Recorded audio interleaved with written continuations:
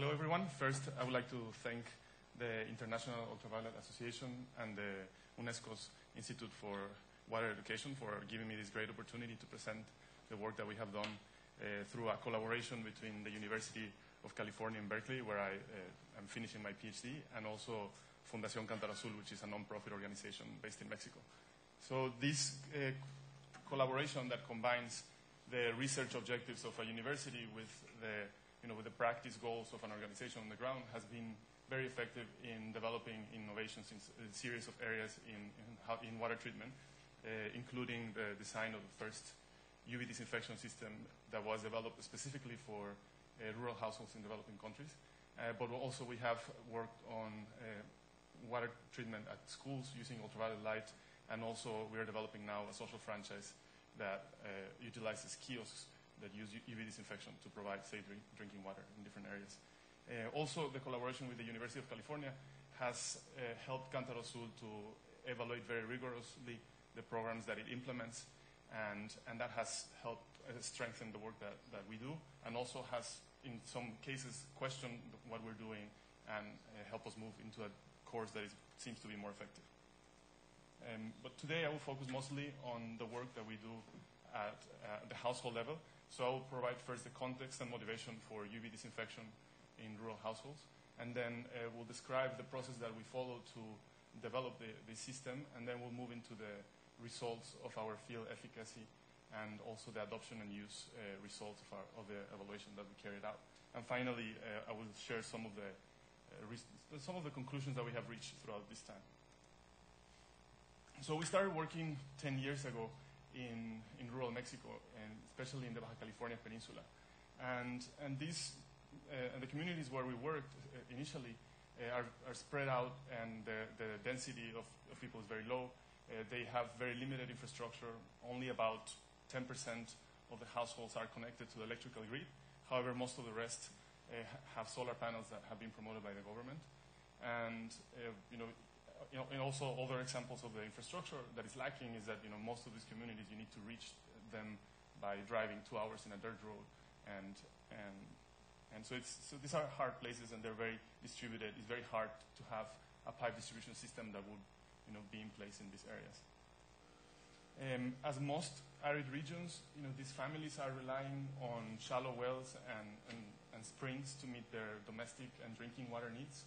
Then they transport the water from these sources into the household through different mechanisms. Some do that by carrying water in buckets. Others have uh, developed gravity, improvised gravity-fed systems, and others even truck the water to their homes.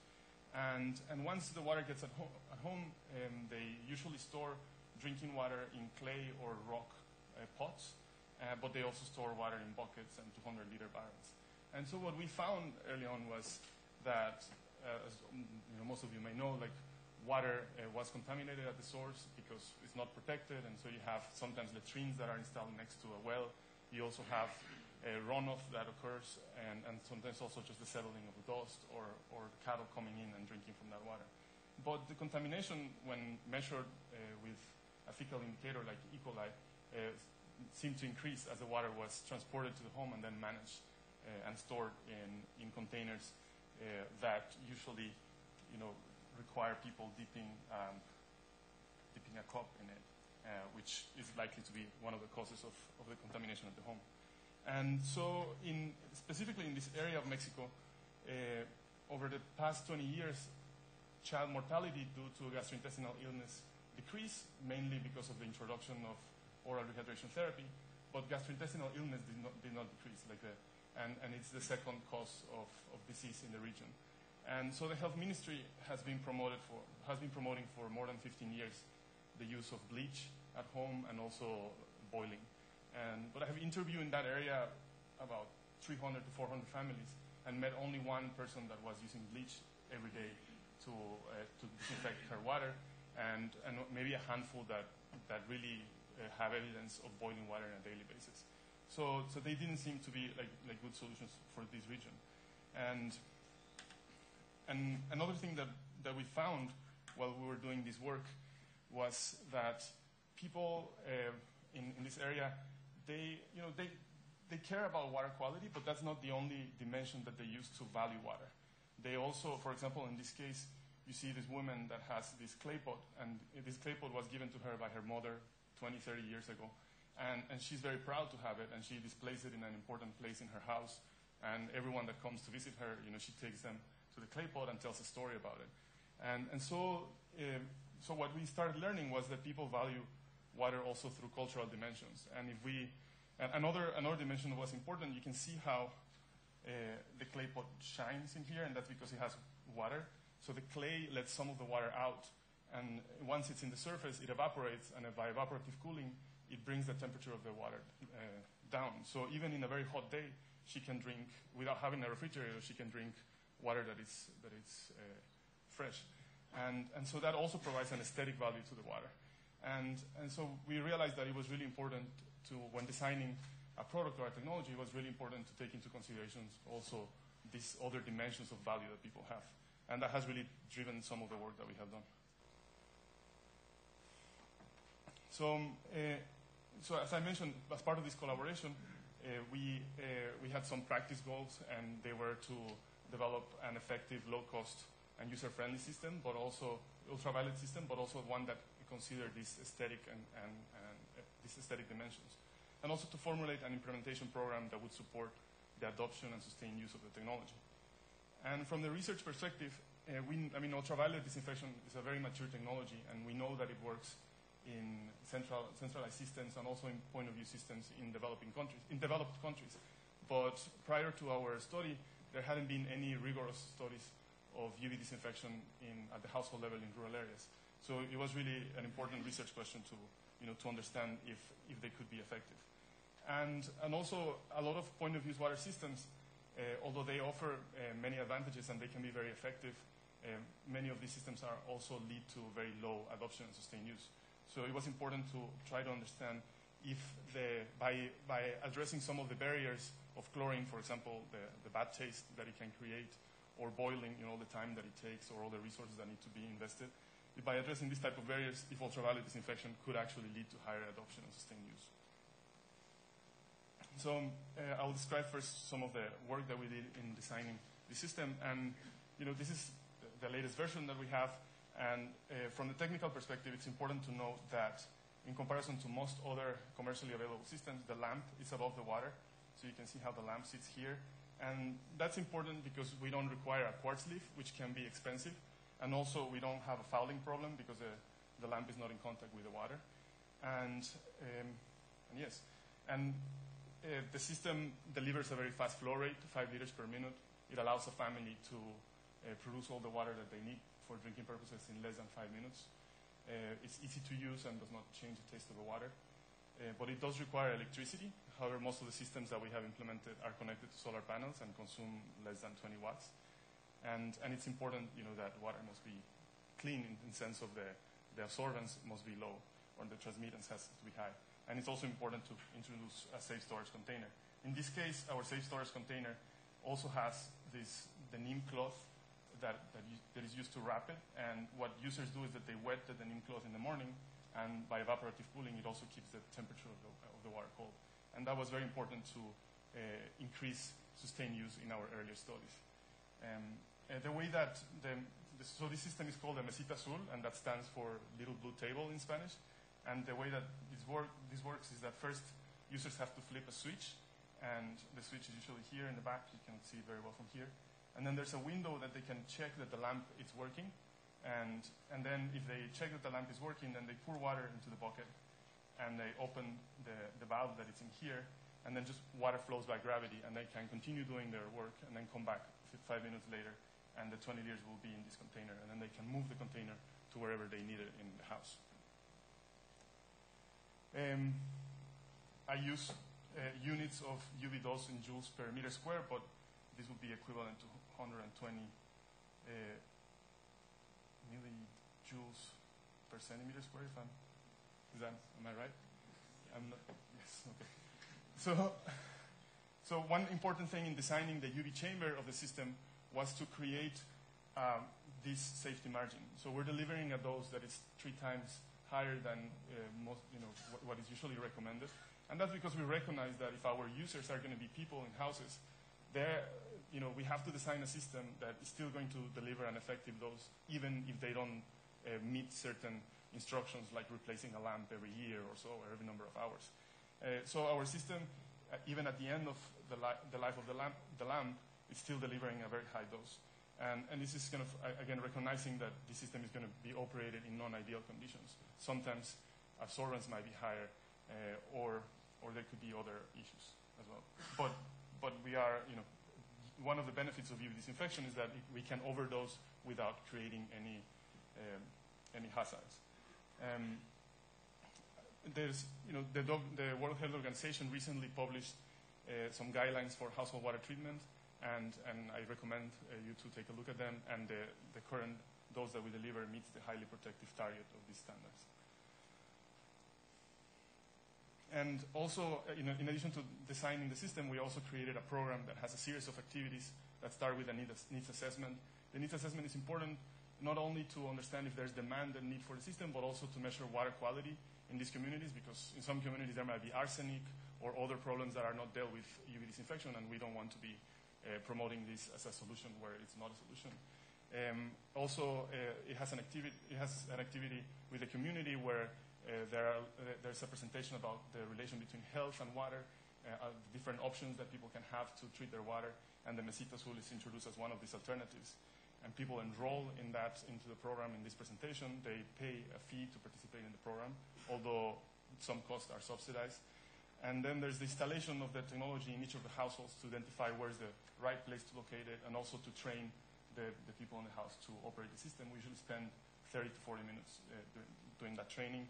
And we also train local technicians to provide more uh, in-depth maintenance and repairs. And then we do follow-ups mostly with the technicians and with houses that are having problems. So this didn't occur overnight. There, there was a, a, long process of, uh, you know, from, from developing a prototype and then installing 24 of these systems. You can see that the initial design was more, um, it, had, it responded more to utilitarian values, meaning like it, it, was as simple as possible, focusing mostly on producing good quality water, but then it moved into something that could be more aesthetically pleasing, including this uh, part to, to keep down the temp to, to lower the temperature of the water, and then finally into the latest version of the Mesita Azul.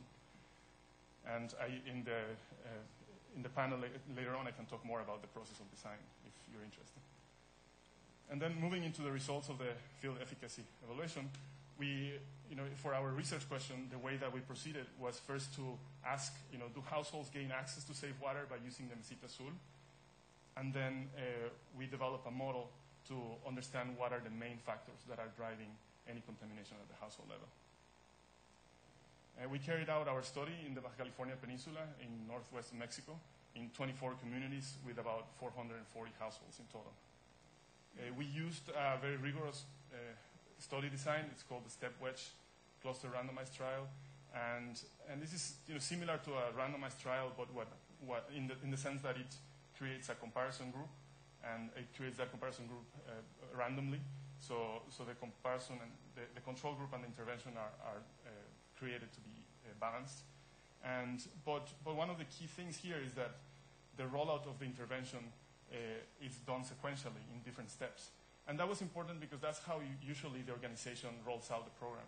And so we wanted to evaluate uh, this program in a similar way, which it gets done every day. And that way it would have more external validity. And, and so a couple of things to note here is that there was a baseline where water quality and other indicators were measured.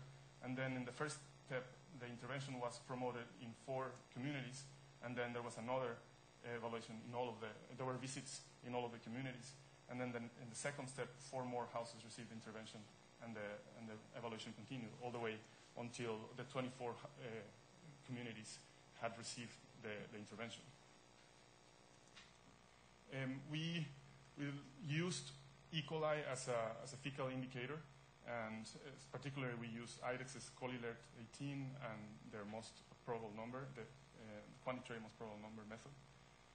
And we measured water quality at the drinking vessel. So we ask people to pour water in a glass that they usually, a glass or cup that they usually use for drinking purposes. And that's because we were interested in documenting water quality right before people drink it. And so what we found between the control group and, and, the, and the intervention was that uh, around 60% of the households in the control group had e- the pres- presence of E. coli and in their drinking vessels. And around 30% of the households uh, in the, in the Mesita program had presence of E. coli. So we saw this significant reduction, but we also found evidence of contamination, even when people were disinfecting water with ultraviolet light and storing it in what we thought uh, was a safe storage container. Um, another thing to point out here is that most of the reduction in the presence of E. coli came from this high concentration, uh, medium and high concentrations of E. coli. So that's E. coli from this orange and red, like orange, between 10 and 100 uh, coliforming units, uh, colony forming units per 100 milliliters, and then the red one more than 100. To put this in context, uh, in parallel to the rural study, we carried out a, a study in an urban area nearby, and, and these are the results for pipe water, for the pipe water system, and these are the results for bottled water in 20 liter containers, which is really what most families are, are doing now in Mexico, at least in urban areas. They're purchasing bottled water because they don't trust their, their, their centralized systems. And, and these are the E. coli levels that we found. Um, the same, you know, uh, in this city, most of the bottling companies that supply the rural area where we did the study come from the same city. And, and what you can see from, you know, from the same bottled water in urban areas to rural areas was it was an increase in contamination. And this is most likely due to the environment of a rural household and, and the hygiene conditions of a rural household. Again, it's important to note that these samples were collected at the drinking vessel. Um, and, and we also collected some samples of bottled water when the bottled water was new, it hadn't been opened, and all of them were clean. So they were not coming from, uh, it's, it's, con- this contamination is not coming from, from the from bottling plants. It's, it's actually happening inside the house or at the glass. And here we see that the Mesita uh, led to a result that it's equivalent to buying bottled water in, uh, from an urban area and bringing it to your home. And that's, you know, both, both of these uh, technologies use ultraviolet disinfection to inactivate pathogens, and they use the same storage container. And what's important to conclude about this is that transferring the responsibility from a technician that is trained and supervised in a water purification plant in an urban area to a household member through a UV disinfection system at the household did not lead to changes in the water contamination at the drinking vessel. And, and, and this is important because uh, the, the, supply of bottled water to rural areas is sporadic. It's a very high cost for people in rural communities.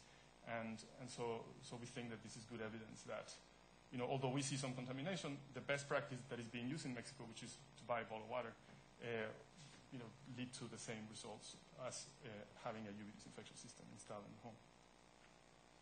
Uh, this graph follows the water quality uh, from the, you know, from collecting the sample uh, outside, right from the outlet of the UV disinfection system, and then collecting the sample directly from the storage container, and then through the drinking vessel. And so we see that there's some, there's some contamination coming out from the outlet. That's mostly because we ask use, users to operate the system, and if they did not turn, the, turn on the light, or if they did something that was wrong, we didn't interfere, we just collected the sample. And um, so, so there's a little bit of contamination happening here, but most of the contamination is occurring in the storage container, and then there's this additional like 10% contamination happening in the drinking vessel. And this, you know, this issue that we're finding with the drinking vessel is relevant to any household water treatment method, even chlorine, because the contact time in the drinking vessel is so short that uh, even chlorine would not be able to, uh, to inactivate the pathogens in there. So, so I think it's something uh, important to consider in household water treatment programs. then we developed this model for water contamination in the home.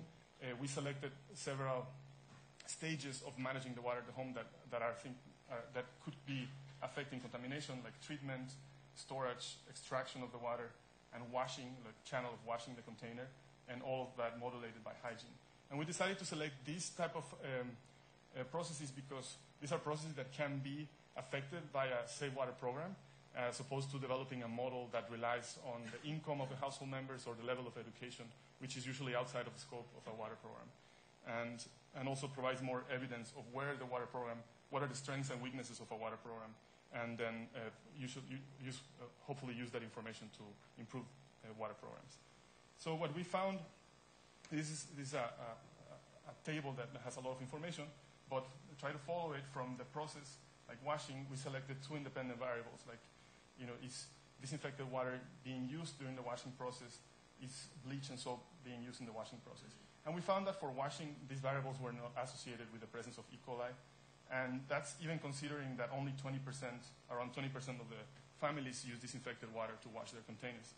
We think that it's not associated because there might be a dilution effect, and the, the concentration of E. coli initially on raw water, on untreated water, was not very high.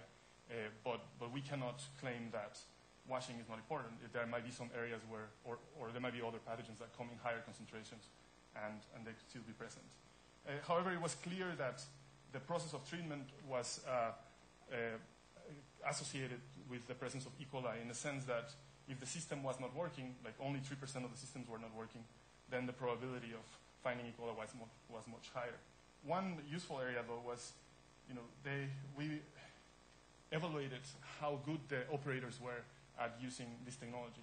And in our category of being an expert, which meant like not making no mistakes and doing the process really easily without doubt, uh, only 30% of the operators met this category.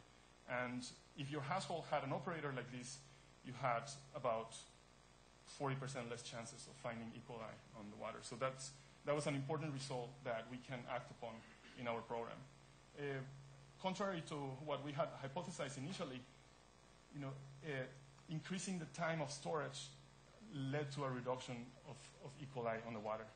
And yes, we don't know exactly why that could be happening. And I mean, it could be because of die-off. The die-off was a more important uh, mechanism than contamination. Um, and also, in, in, in the extraction uh, criteria, uh, increasing the number of extractions, whether with a pump or tilting the container or opening a spigot, increasing those extractions also decreased the contamination, uh, which was contrary to what we had hypothesized initially. Here we believe that there might be some settling of the E. coli, and then, uh, and so initially through the pumps and the spigot, which are the bottom, extract water from the bottom, you might have higher concentrations at the beginning, and then later on less concentrations. And, and then also we found that there was no difference between the different extraction methods that we used, uh, but using a drinking vessel uh, really doubled the, the chances of finding E. coli in the water. And, and also there was a hygiene variable that was uh, statistically significantly associated to the um, to the presence of E. coli, and that was, you know, if you had an improved household infrastructure, which meant like concrete floors and walls, the probability of finding E. coli was about 60% less than if you didn't have that. But uh, hygiene in the kitchen and having a dedicated hand washing station were not associated.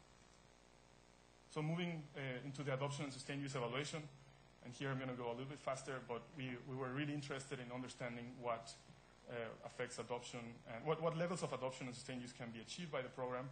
And so we developed a compliance framework to map key household uh, water treatment outcomes. Uh, for example, uh, you can think of knowledge of a safe water practice, access to safe water, the habit of safe water practice, and then the exclusive use of safe water. And you can see that how they get, as, as you go down, they get stricter and stricter, which is what you want to get if you want to have a health impact. And so for each of these, uh, we disaggregated the household in two types of members those that operate uh, the system or those that procure are in charge of procuring the safe water, and the rest of the household members, which are just consumers of that water. And then, for example, uh, concentrating on the habit of a safe water practice, we map that to the Mesita Azul program. And for procuring, like, you know, for operating the Mesita Azul, you know, to be able to have a habit of a safe water practice, we chose an indicator which was that they would use the Mesita Azul at least every five days. And, and for the habit of consuming safe water, uh, that had to be, you know, people had to report that their most common source of water was water treated with UV and safely stored, but also their last glass of water had to come from, from there. So we would, you know, to have a more objective metric, we'll ask them, you know, to remember the last glass of water that you drank and they would say, yes, I remember that glass, last glass of water. And so you will take them to a very specific point in time, and then you will ask them, so where did, that, where did you serve that last glass of water? And, but we did something similar to all of the other uh, outcomes. And so what we find, let's, we can think first of of the habit of consuming safe water, which was our initial goal, we found that the Mesita Azul program increased the, the habit of consuming safe water from 20% to 50%. And this 20% was mostly households using bottled water.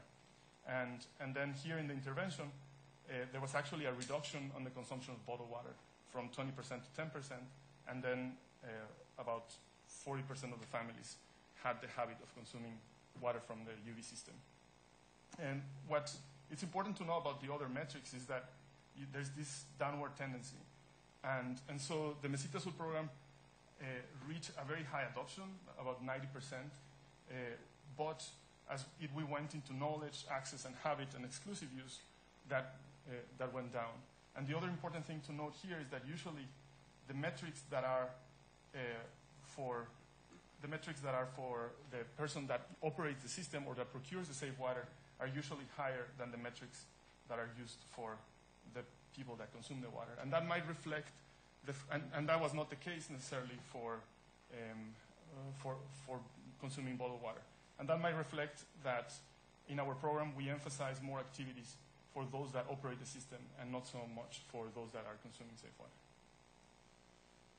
So, in conclusion, households did gain access to safe water by using the Mesita Azul, but there's definitely the potential for larger gains. I mean, we still saw a lot of samples contaminated with E. coli, and we were not expecting that, and we would like to reduce that. Uh, we have, you know, by doing the, the, the, model, we know that now that we can concentrate on treating more operators, on, on training more operators, uh, or training better the operators so that uh, they can, and that we hope that that will reduce the contamination, we have to think more about how to improve the hygiene on drinking vessels, and, and there's something to be done about the hygiene of the households as well. And in terms of adoption, uh, yes, it, you know, household uh, UV disinfection uh, did lead to higher adoption rates than, than boiling chlorine and even bottled water, which is the preferred option in Mexico. Uh, but still, you know, we saw a drop in sustained use and exclusive use that, that we didn't want to see. And so that really has challenged, you know, to you know, final conclusion is that that has really challenged the way that we were seeing our safe, our household water treatment program. And initially, as most household water treatment programs, it was conceived as a being a product-based program in the sense that you have a product that you bring into a house, you train people to operate it and maintain it, but then you leave, and although you might do some follow-ups, uh, you transfer all these responsibilities. You know, sometimes we like to say that we're transferring, that we're empowering people with a household water treatment system, but we're also transferring a series of responsibilities that we usually don't have when we are drinking water from the tap. And, and so what, what is happening here is that, you know, most households have access, we're, we're able to gain access to safe water, uh, and, and they had water readily available at any time that we will visit them. And they're consuming from that water, but they're also drinking, you know, from other area, all sources that they have at home. And that's uh, because point of use treatment is not treating all of the other sources that are available at home. And, and so we thought of two different approaches to deal with this problem. And one is to, you know, uh, one has to do more with infrastructure, and it's to move from point of use to point of entry, in the sense, you know, to treat all the water that comes into the house and to safely store all the water that comes into the house. But that would require a higher capital investment, and it will be really difficult to replicate this. And the other approach is to, you know, if we were successful at increasing access to safe water, then let's just focus on changing habits of the consumers. Uh, but that also requires a lot of interaction in the communities, and it's really difficult to finance as well. Um, so what we are trying now, uh, in the past month, we implemented 200 uh, Mesitas Azules in, in, a region in Chiapas. Now we're working in South Mexico. And, and we, we're changing this paradigm from a product-based program to a service-based program.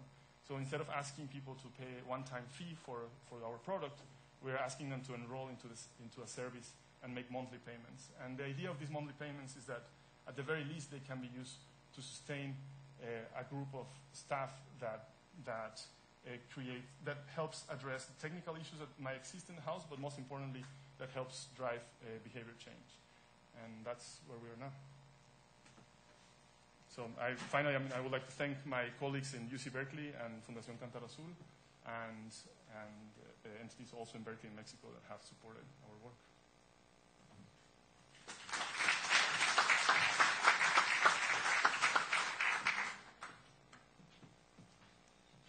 There's a lot of interesting things out of that. So hopefully we get some good questions here tomorrow.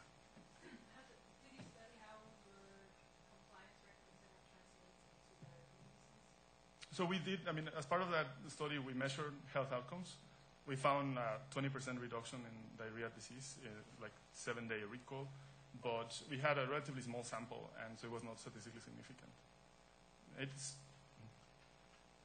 so we are hoping to do a larger study. It was this was the first study that we did, and is usually seen as a pilot study of. Uh, uh, you know, of, of measuring health outcomes, and then the idea is to do a larger one that has enough power to uh, to have a conclusion on that.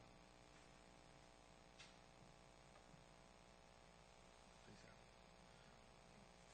Um, I would like to know more, uh, is there any, uh, rejection or something from the community at first when the, the UV treatment is introduced in, um, Mesita Cruz? Mm-hmm. Um, because if someday I would like to treat, uh, uh, I would like to imitate this kind of. hmm No, you know, the, the initial response was very good. Like, we, we achieved, I mean, we promoted the program to the whole population in these communities, and 90, you know, about 80% of them, the rest uh, were using about bottled water, but uh, about 80% of them uh, ended up paying a fee and acquiring uh, a Mesita Azul. So the, the response was, was really good, and I mean, the program was subsidized, but families had to pay about uh, approximately $20 for, you know, to participate in the program, and, and I think, I mean, I, I can remember uh, stories where, like, we were bringing a Mesita Azul to a household that had been enrolled, and then the, the, the man, uh, the, uh, the, one of the men in the house came out and said, well, you know, we don't have a lot of money, we prefer not to participate. And we pull out the Mesita Azul outside of the cardboard box, and the woman really liked it, and she came out, and, you know, she basically sent the man inside the house, and she, you know, she paid the $20, and she got it. So, so you know, it's, it, it does, I mean, it, it, it was a system that, that was designed to, to, to look attractive for, for rural users, and, and it doesn't have like a heavy burden in using it. In, in using it. So, so there was no negative reaction at the beginning. It's more this, you're confronting a challenge that people have drank untreated water for generations, and it's water that looks clear, it doesn't look turbid. And, and so they, I mean, the, the main issue that we have is that they're drinking, say, water from the Mesita Azul, but they're also drinking untreated water. And I think that's the main uh, limitation that we have. But, but we have gone through a lot of hurdles that many other household water treatment programs have not been able to cross yet. You're using Mesita Azul for drinking water. What are you using for um, for washing both the vessel you're drinking from and for just general hygiene? Um, untreated water. So like the like this one, for example, is used for uh, washing dishes. And you know, I, I don't have one here, but for washing clothes and hands, usually untreated water as well. The drinking vessel is being washed in untreated water. The, the what is the? Drinking vessel, the cup, has been washed with untreated water. I, I think there's a mix. There, there's a mix. Some some families uh, wash them with disinfected water, but uh, if you remember, only 20% of the families, although we told them to wash the the storage containers, even before the drinking vessel, the storage containers with disinfected water, only 20% of the families reported doing that. Uh, most of them still wash them with untreated uh, with untreated water. And that's, I, I mean, that those are spaces, you know, to, I mean, there, are definitely families that are using this water for cooking and for washing vegetable, vegetables. But as far as washing hands, I don't think that it gets that far. Although, although one of the nice things about UV disinfection is that, I mean, this same system, the same UV chamber, we use it for schools and for communities. You see them here. And it can produce so much more water. So, so it's not, once you have a UV system at home, the marginal costs of producing more water are neg- negligible. So, so these are things that can be incorporated into the program. Can we take? Yeah, sure. In terms of uh, power requirements Mhm. a- and the cost of electricity, how, how is it in the, in the region that you So the lamp is a 15 watt lamp. If you add that the ballast is not 100% efficient, maybe it's consuming about 20 watts for five minutes a day. Uh, I mean, it's, it's like one kilowatt hour, if I remember correctly, it's one or two kilowatt hours a year, which is it's a very small amount of, of money. Like people don't, even, even in the households that had solar panels that only power a couple of lamps, they, they didn't notice that the system was depleting their, their energy. So, so the energy consumption is not, is not, I mean, it's a problem if you don't have access to it, but once you have access, it's not a problem. So I noticed that the quality right out of the system is really good, and then the next step in the quality is getting poorer. So in your s- storage container, it looks like it has a narrow neck, but what's cause, what do you think is causing the uh, the contamination there? Is I, I know. I mean, this this is the. I mean, I think everyone would call this a safe storage container, in comparison to other containers yeah, that people use. You can't put your hand in. You can't. But uh, what what is causing it? I mean, it's just. I mean, look at the households. Most of them have dirt floors. They have uh, chickens running around, and, and so it's. I think it's really the environmental conditions, and, and yes, I mean it's hard. I'm really curious about your mo- moving to a service-based model as well. Um, what's the cost of the service? So if it's say twenty, thirty dollars for the system to buy, and then you walk away and they take care of it. If you provide a service, are you employing somebody? Is somebody Yes. getting paid to go around? What, what's the model there, and what are your initial thoughts on that being more sustainable than your? So, so we have designed, I mean, we're, we're focused working on rural communities, and, and the problem there is that they're very cash constrained. So we, we develop a center actually in partnership with a, uh, with a social business that works on, on solar electricity. And, and so we are uh, launching this center where uh, technicians are going to go to rural communities and install the mesitas azules and offer them through a service model. And they're going to be charging around four US dollars per month and and that is going to finance everything. I mean, it will take us around five years to recover all the costs, including the infrastructure of the center, uh, but but it will finance everything. And that's, I mean, it seems a little bit high, but comparison, I mean, buying 20 liters of bottled water costs about a dollar. So, so it's a much better alternative for those that are buying bottled water. The, the challenge is to get to those that are not buying bottled water right now. And in, in we are working in other regions with more uh, with uh, indigenous population that that don't have that access to five dollars a month. And in those cases, we need to partner with foundations or the government. And in, in one in the case that I mentioned, we're charging a dollar a month, and that's enough to sustain a local staff uh, to provide that service. It's not covering the cost of the organization, but it's covering the, the cost of the staff. Thank you Thank so you. much. Excellent talk.